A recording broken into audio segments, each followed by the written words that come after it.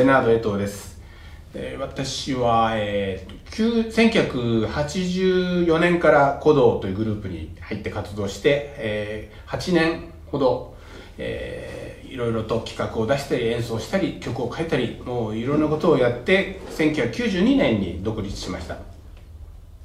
太鼓との出会いっていうのは実は鼓動に入った21の時が初めてで一番上の兄があのレコード会社に行ったもんですからまあこういうグループがいるぞっていうんで紹介してくれたのがオンデコザというグループだったんですけどもでその時僕は1617ぐらいだったんですけどまあ正直今のような和太鼓ブーム日本のブームみたいなものはなかったのであの正直全然興味がなかったんですけども、えーまあドラムを中学校高校時代ドラムをやっててそろそろなんか自分の中でも、うん、どうしていきたいのかなっていうのを悩んでて。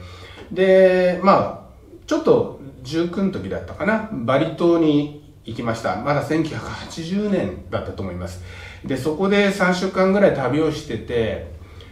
ああなんか太鼓グループが世界で活躍してるのを聞いたな。でもなんでその和太鼓のグループがそんな海外で活動できてるんだろう支持されてるんだろうっていうのを不思議に思っててもしかしたら自分はなんかそういうものが見えてないのかなもうちょっとその、えー世界をし見る機会を作りたいなと思って鼓動に入ろうっていうことになりました。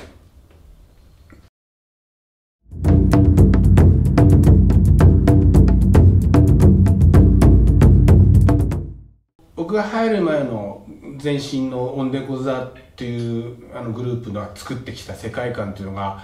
まあ僕は経験なかったからとにかくトレーニングとして大太鼓や屋台林とか練習してたんだけどもちろん好きだったしなんだけどうん自分の表現ではない。郷土芸能とかを学んで演奏するまたはアレンジをするということに関してちょっと自分自身抵抗があってもっと自分の太鼓とのうん関係性というか太鼓の音の魅力をもっと引き出したいなっていうのが自分の中にあってまあ自分の生き残りも含め曲を作りたいと思ったんですね。それまで作ったことなんかなかったんですけども。であのまず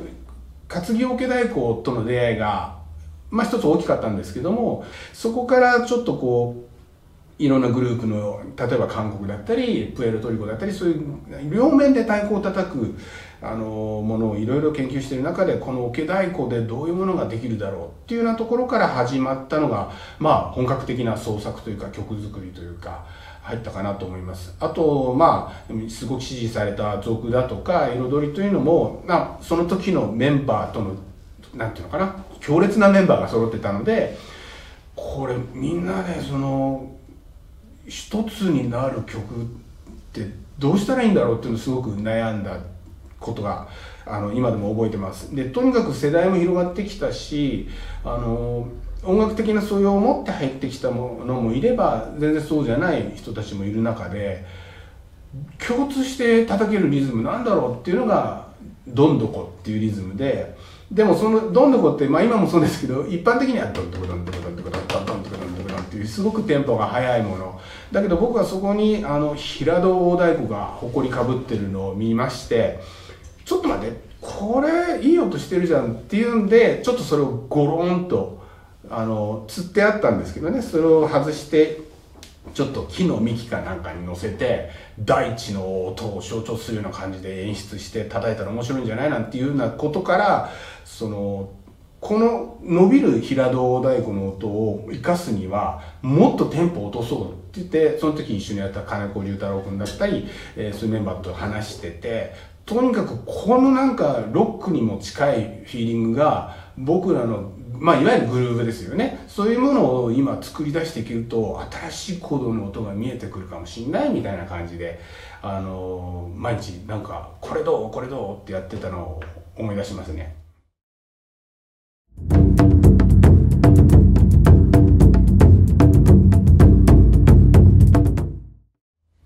太鼓の面白いとこであり魅力であると同時に難しいところっていうのは要するにピアノとかギターの西洋の概念でできた楽器と違って自分でコントロールできるところが限界があるというのかな。要するに秒が秒で打ってる太鼓とかもうチューニングできないですしなんせ全部が自然のもののこうから取り出して、えー作られたものだからある程度しなんていうのか自然を切り取ったような部分があるんで僕たちがコントロールっていうよりもむしろ太鼓の状態に僕らが合わせていくっていうそういう風な発想が必要だった。そのためにはまず太鼓に名前や番号を振ってあの子はああいうコンディションにあるとかあのツアーに持っていくためには逆にもうちょっと叩き込んだ方がいいからこっちの方の太鼓を使おうとか割とそういう意味ではうんなんかこう友達というか絶大なる信頼を持ったパートナーというかあの一緒に旅をするわけですしそのなんか、うん、太鼓を知ることいい音を出す前に太鼓のコンディションや太鼓の状態を知るということが、うん、ものすごいマニアックに僕は取り組んでたような気がします。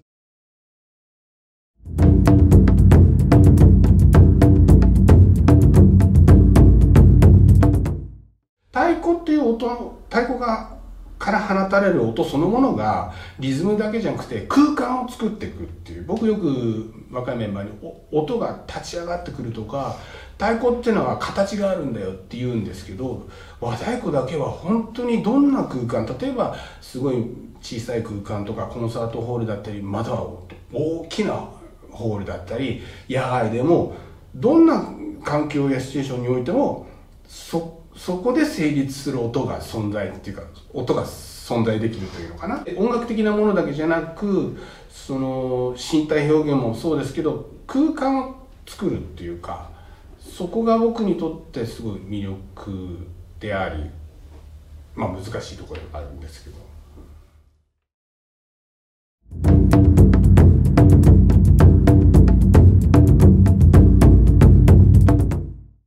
アフリカに初めて行って叩き出した時にスッと女性が入ってきて踊り出したんですね。正直その時の緊張感っていうかな高ぶりっていうの今でも覚えてます。自分の音に肉体表現で応えてくれるっていうことは正直鼓動にいた時はそこの舞台ではなかったのであのナチュラルな形でそういう風な太鼓と踊りっていう経験をさせてもらったのはすごく僕にとってはあの新しいまたそこから音楽人生が始まったような瞬間だったんですけど。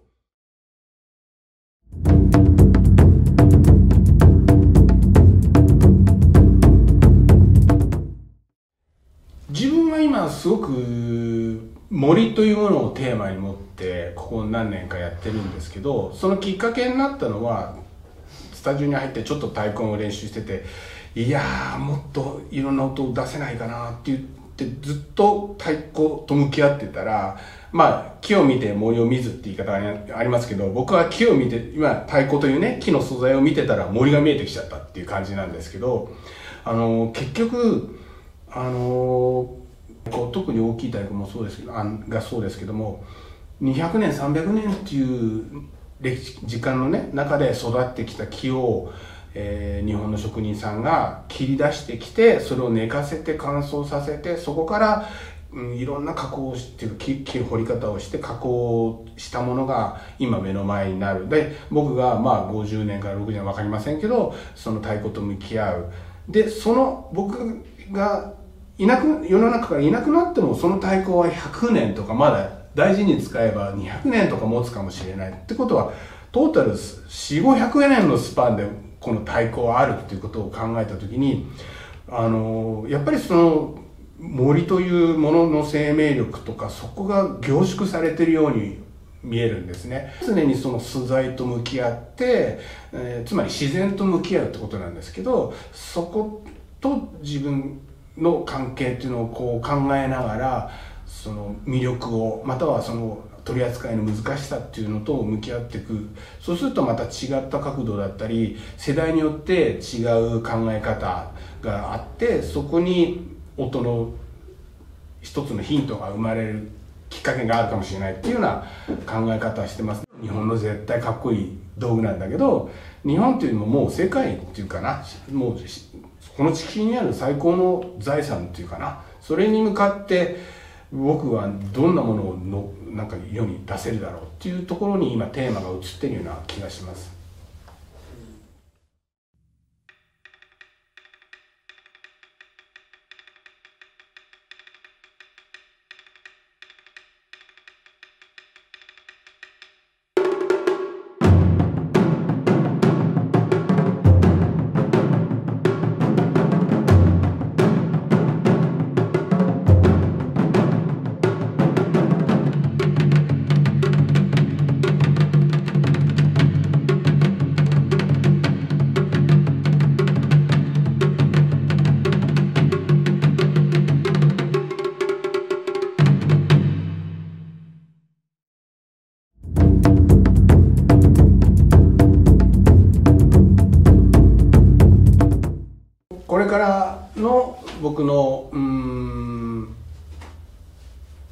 ってみたいやっていきたいなと思ってることは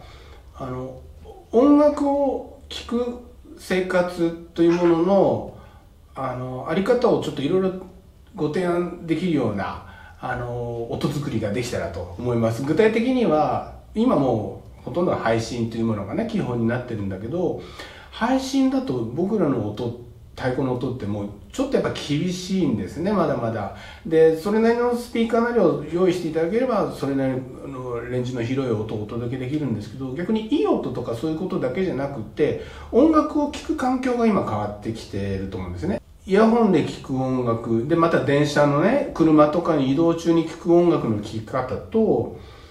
レコードをセットして針を置いて聴くというのは音の音との過ごし方が全然違いますよね。そのためにはレコードに向いた音作り、えー、まあ CD に向いた音作り配信に向いた音作りみたいなこうそれぞれのあの表現発信するものに合わせた太鼓の音作りっていうか曲作りっていうのかな？できたらいいなと思ってます。YouTube で配信するんであればあのその作っていくプロセス、まあ、メイキングよりもうちょっと踏み込んだものとか時間をかけて太鼓の音楽に向き合っていただけるような作業効率とかなんかそういうことだけじゃない時間の豊かさみたいなものを太鼓音楽を通じて作れたらいいなと思います。